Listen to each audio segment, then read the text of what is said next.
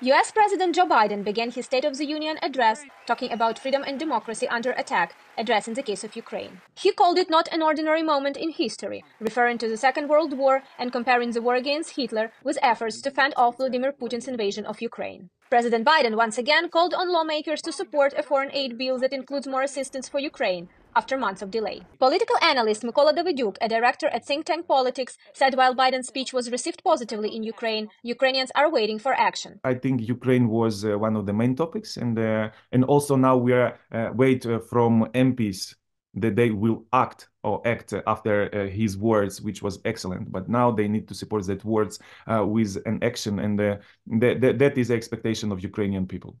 On the streets, people are pleased that Ukraine was brought back to the spotlight, giving hope US support will continue.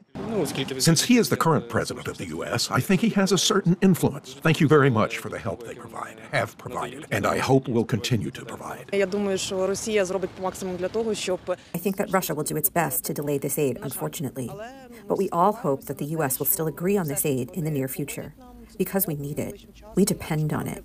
Some were more skeptical. I don't think much depends on Biden's address because there are still congressmen there. While Ukrainians continue to defend freedom and democracy on the battlefield, they are eager for actions rather than words, hoping additional aid from the US will be approved before it is too late. Anna Chernikova, VOA News,